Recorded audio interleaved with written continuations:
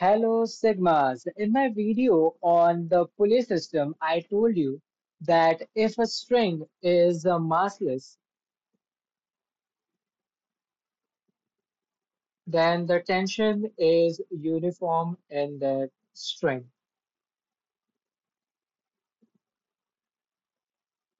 which means that the tension at every point on the string is the same. Right here it is T, here it is T, here the tension is T, right? But what if the string is not massless? To analyze what happens if a string has some mass, first we have to understand the concept of a phenomenological force. So forces in nature, so forces occur in two forms, right? So there are two types of forces. We have the fundamental forces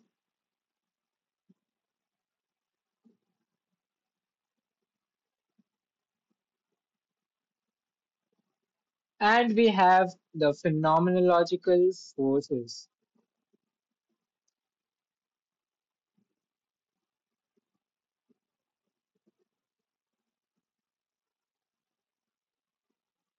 And what is the difference between a fundamental force and a phenomenological force? Fundamental force are, as the name suggests, fundamental, whereas phenomenological forces are caused due to fundamental forces. That means phenomenological forces uh, are fundamental forces only, but uh, in a large scale, right? That means uh, the fundamental forces are playing themselves as phenomenological forces. The fundamental forces include gravity,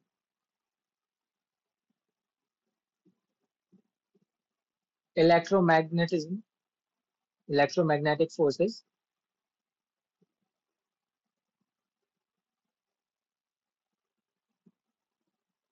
and uh, we have the strong and weak nuclear force forces. And uh, the phenomenological forces uh, which we shall be concerned about are mainly due to the electromagnetic forces. And those include the uh, force of tension, right? Our today's discussion, and the force of friction, which we shall discuss uh, in our future video. So, tension is what we are concerned about, and how does electromagnetic forces mimic themselves as tension? If let's say we have a rope, right? We have a rope. Physically, a rope is made up of what? Molecules. And what are molecules made up of? Molecules are made up of atoms, which are held together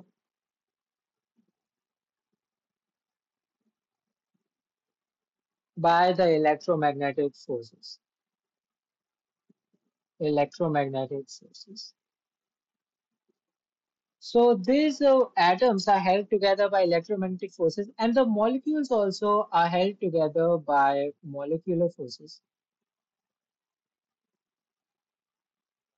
which are again uh, electromagnetic, right? Even molecular forces are just molecules interacting with each other through this ele- through these electromagnetic forces. So this is actually a matter of chemistry because here we have a lot of molecules which make up the string and they apply forces on each other. This is actually a study of chemistry and uh, also physics at the atomic level. So this is how these uh, electromagnetic forces. So basically, this at each part of this rope is attracting each other with some molecular force, right? And due to which this rope is uh, held together as a single rope, right? It doesn't break. So since now we understand what is the cause of tension, we can now move forward into finally understanding what causes the tension in a massive rope or how much how we can calculate the tension in a massive rope. Now you might have guessed so far that unlike the massless rope, the tension in a massive rope is not going to remain uniform, right? So these these are this is a pole, right? And this is another pole. And let's say there is a rope on this pole, right? This is a rope and it has some mass, right? This is not a massless rope. This has some mass. So let's say it has a mass m and this rope has a length L. So if this has a mass m, then obviously the force at this part of the body, because this entire rope has a mass m, so force on the topmost part would be m into g. Right, at this part. Let me call this point A. So the topmost part is the point A, and the force on that part is obviously M into G. But what we want to calculate in this problem is the force at a distance x from the bottom of the string. And uh, how will we do that? Before we solve this problem, you need to understand con the concept of uh, mass density.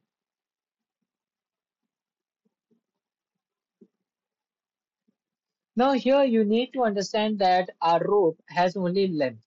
It doesn't have a area, neither does it have a volume. It just have a length, which means this this is a one-dimensional body, right? And the mass density of a one-dimensional body is nothing but mass per unit length. What is mass density? Mass per unit length. So m divided by L.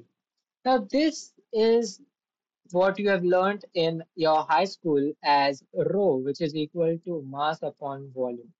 Right? These are exactly the same analogs of each other, but this is in three dimensions.